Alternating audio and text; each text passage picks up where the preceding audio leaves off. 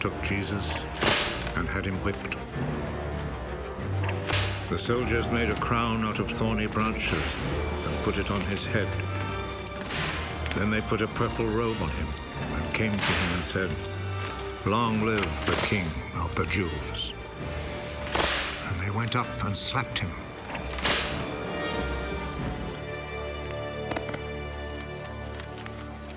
Pilate went back out once more and said to the crowd,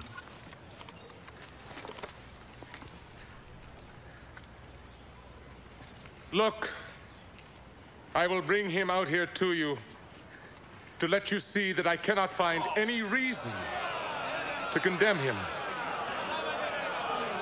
Look, here is the man. So Jesus came out wearing the crown of thorns and the purple robe. Crucify him! Crucify him!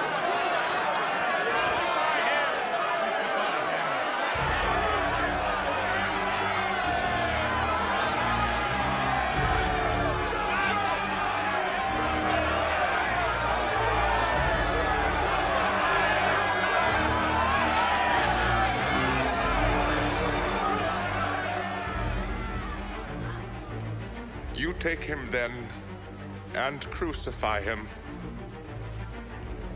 I find no reason to condemn him. We have a law that says he ought to die because he claimed to be the Son of God.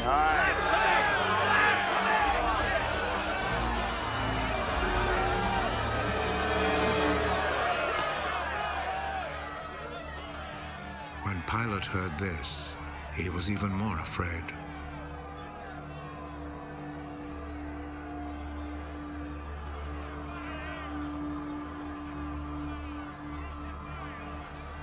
He went back into the palace, then asked Jesus, Where do you come from? but Jesus did not answer. You will not speak to me. Remember, I have the authority to set you free and also to have you crucified. You have authority over me. Only because it was given to you by God. So the man who handed me over to you is guilty of a worse sin. When Pilate heard this, he tried to find a way to set Jesus free. If you set him free, that means you are not the Emperor's friend.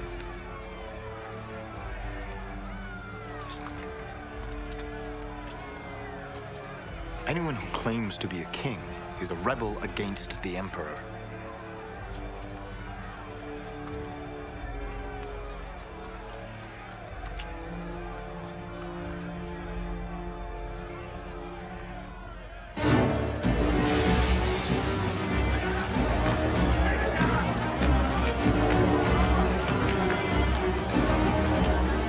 When Pilate heard these words, he took Jesus outside and sat down on a judge's seat in the place called the Stone Pavement.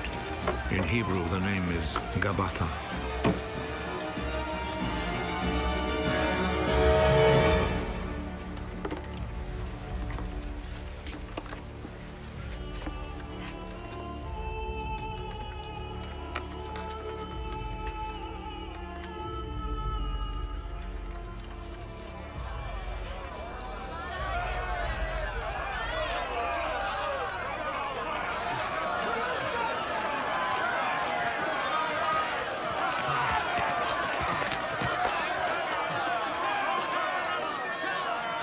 It was then almost noon of the day before the Passover. Pilate said to the people, Here is your king.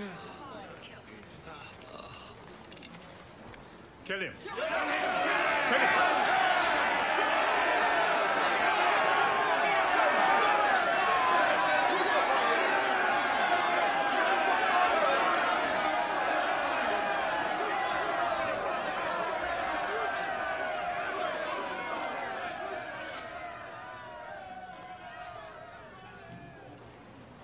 Do you want me to crucify your king? The only king we have is the Emperor. Then Pilate handed Jesus over to them to be crucified.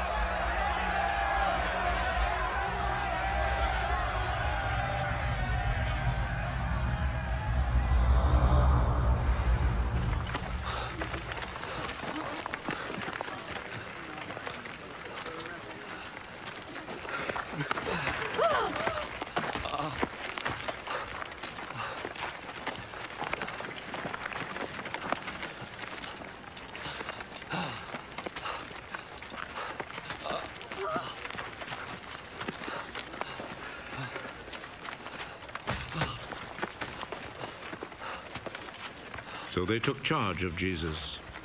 He went out carrying his cross and came to the place of the skull, as it is called. In Hebrew, it is called Golgotha.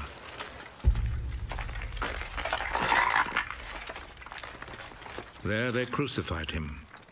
And they also crucified two other men, one on each side, with Jesus between them.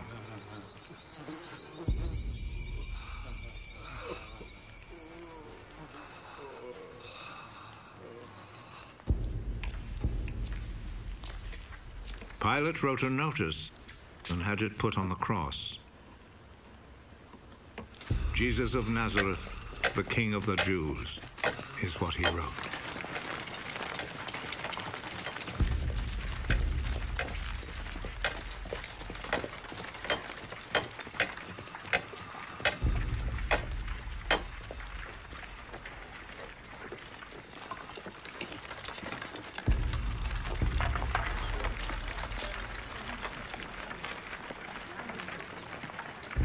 Many people read it because the place where Jesus was crucified was not far from the city.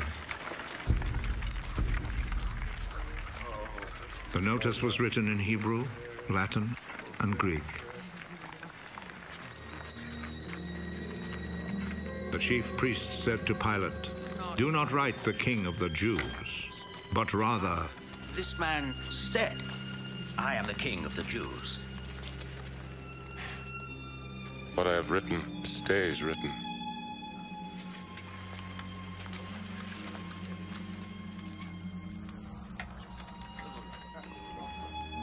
After the soldiers had crucified Jesus, they took his clothes and divided them into four parts, one part for each soldier.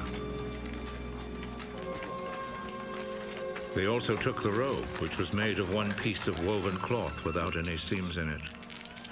The soldiers said to one another, Let's not tear it. Let's throw dice to see who will get it. This happened in order to make the scripture come true. They divided my clothes among themselves and gambled for my robe. And this is what the soldiers did. Standing close to Jesus' cross were his mother, his mother's sister, Mary, the wife of Clopas, and Mary Magdalene. Jesus saw his mother and the disciple he loved standing there. He is your son. Then he said to the disciple, She is your mother. From that time, the disciple took her to live in his home. Jesus knew that by now everything had been completed. And in order to make the scripture come true, he said,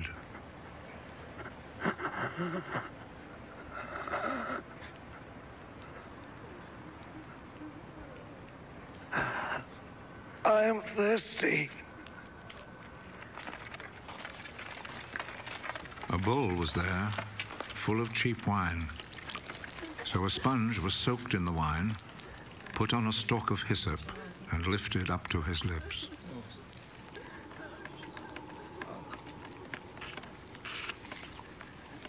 Jesus drank the wine.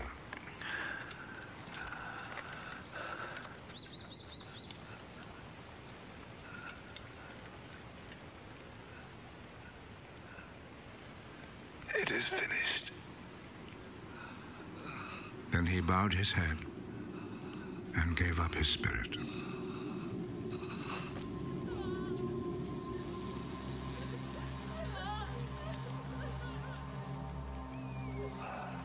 Then the Jewish authorities asked Pilate to allow them to break the legs of the men who had been crucified and to take the bodies down from the crosses.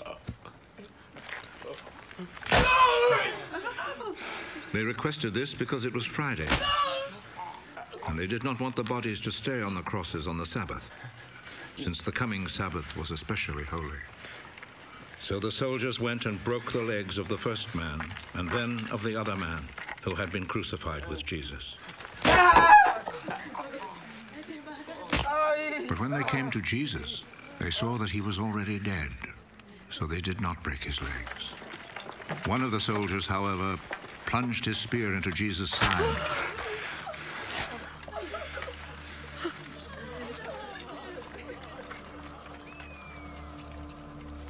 And at once, blood and water poured out.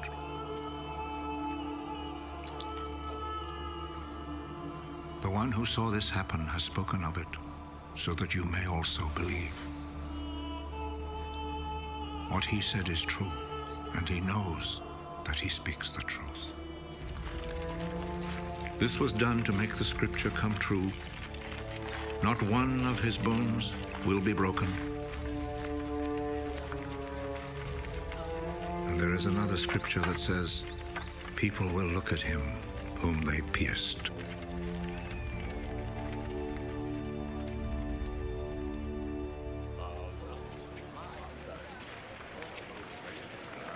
After this, Joseph, who was from the town of Arimathea, asked Pilate if he could take Jesus' body. Joseph was a follower of Jesus, but in secret because he was afraid of the Jewish authorities. Pilate told him he could have the body, so Joseph went and took it away. Nicodemus, who at first had gone to see Jesus at night, went with Joseph taking with him about 100 pounds of spices, a mixture of myrrh and aloes. The two men took Jesus' body and wrapped it in linen cloths with the spices, according to the Jewish custom of preparing a body for burial. There was a garden in the place where Jesus had been put to death, and in it there was a new tomb where no one had ever been buried. Since it was the day before the Sabbath, and because the tomb was close by, they placed Jesus' body there.